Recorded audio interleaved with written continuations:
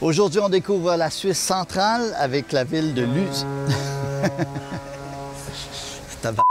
Aujourd'hui, on découvre la Suisse centrale avec la ville de Lucerne et Angelburg dans le canton de Obwalden.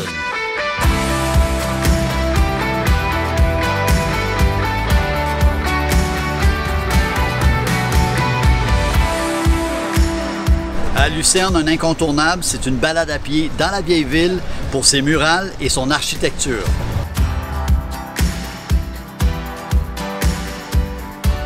Et évidemment pour ses deux ponts historiques en bois.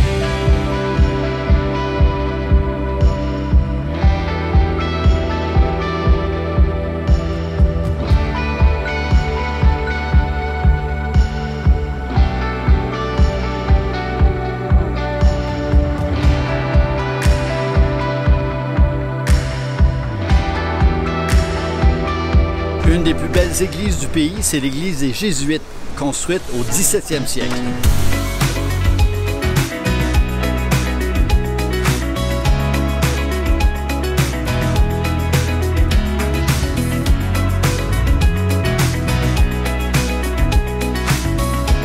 Lucerne possède plus de 200 fontaines publiques et comme partout en Suisse, l'eau est potable.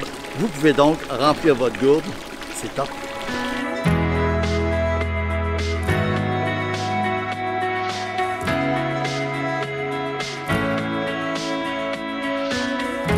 Une bonne adresse pour le lunch, c'est le restaurant Le Piaf dans le KKL, le fameux centre culturel et des arts du grand architecte français, on dit le star architecte Jean Nouvel.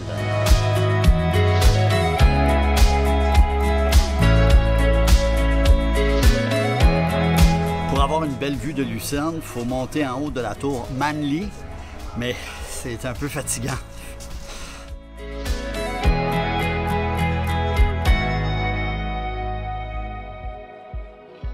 Et aussi, si vous avez le temps, ça prend à peu près 45 minutes du centre de Lucerne. Il faut absolument aller en haut du mont Pilate, en téléphérique, mais de là, la vue est spectaculaire.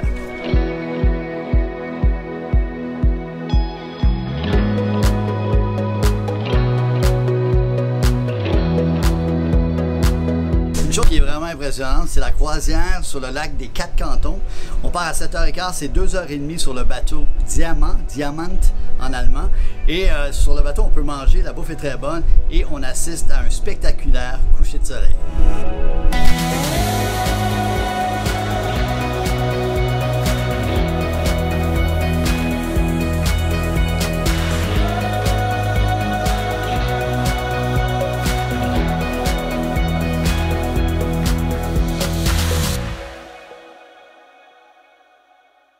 vient de quitter Lucerne ce matin. On était à l'hôtel Schwarzerhof, qui est un hôtel classique euh, de Lucerne, très bien situé face au lac des Quatre Cantons.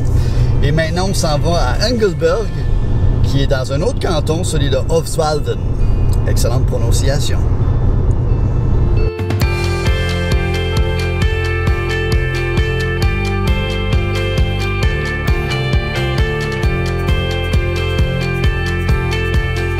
Ce matin, on s'en va en haut du fameux mont Titlis. Euh, je sais que ça a l'air un peu bouchonné, nuageux présentement, mais en haut, c'est complètement dégagé, là, complètement.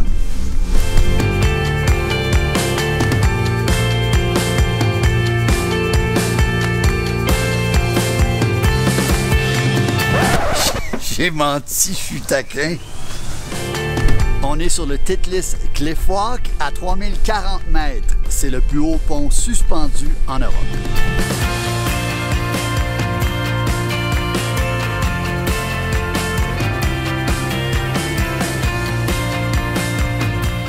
Évidemment, il faut venir faire un tour à Glacier Cave, où certaines glaces datent de plus de 5000 ans.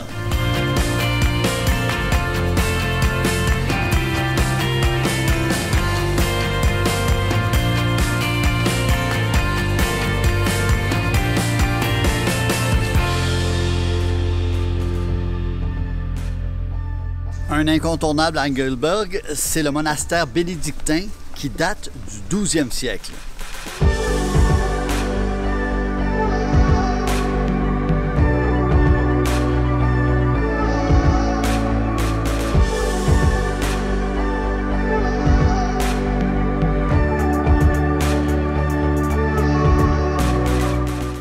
Et les moines du monastère sont reconnus pour la confection de leur fromage.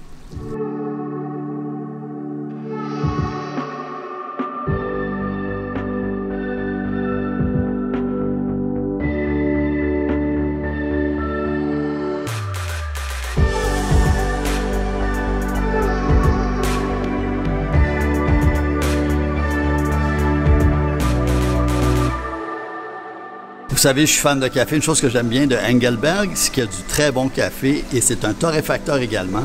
C'est ici au Roastery Engelberg.